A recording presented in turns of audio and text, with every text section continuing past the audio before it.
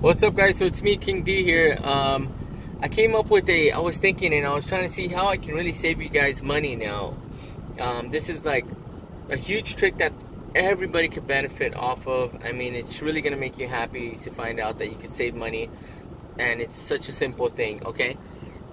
So here's what you do. Um, this is what it is. So pretty much, dry cleaners love new customers, right? Because the new customer is great. We all like new customers, and maybe in any business journey, you love a new customer, a new client, right? So, as a new customer, some stores even promote outside of the store. New customers get a certain percentage off, right?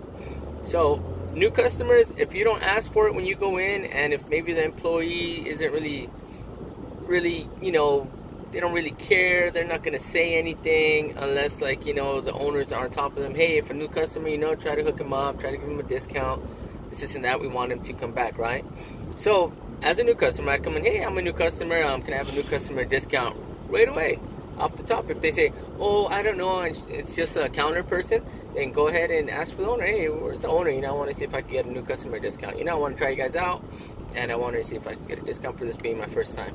You know, and at least 85% of the stores will definitely give you a discount a new customer discount, right? Now it could range from anywhere from 10, 15, 20, 25% off, right? Um, which is good, right? So that's right off the top, okay?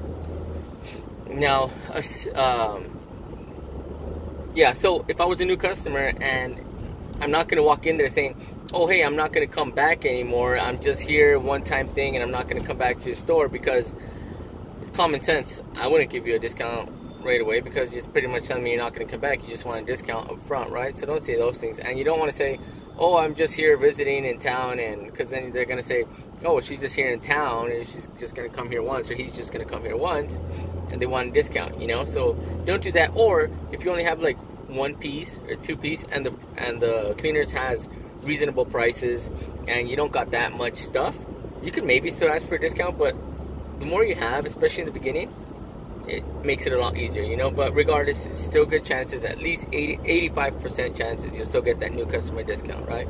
So, another big thing. So, if you're a regular dry clean user, okay, regular dry clean user, and if you're watching this, you probably do go to dry cleaners a lot, or if you plan on starting going to the dry cleaners more often, this is perfect. I'm gonna help you guys out so much right now. So, as a regular customer, you're spending money at the store, right? So, what you could do if they know you and, and, or you know you and you know you spend money at that cleaners you know not just because you take one piece a week you know makes you a, a good regular customer. I mean like you, you spend like a little bit of money there right? If you take once a month you know every month like i wouldn't consider you a regular customer like it's not.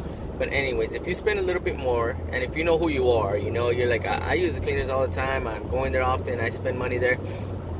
Okay you ask to speak with the owner oh, it's the owner, and the owner comes out, or the manager, or whoever's in charge. Hey, you know what?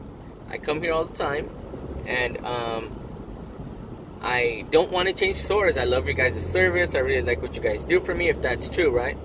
I like what you guys do for me. You guys take care of me, but sometimes I just find it a little pricey, and I'm trying to save a little bit of money. Is there any way you guys could give me a discount that's a permanent discount, so I don't have to worry about asking you guys when I come in? Can you guys give me a discount or something like that? Because you know, just simply tell them, hey, I come here all the time and I'm trying to see if I can get a permanent discount. And then if they say no, well then you tell them, hey, look, the thing is, I come here a lot. I spend money here. Look at my history. They got a computer. There's always uh, a history of every time you've came in. Look at my history. Look at how much I've spent. I come here all the time.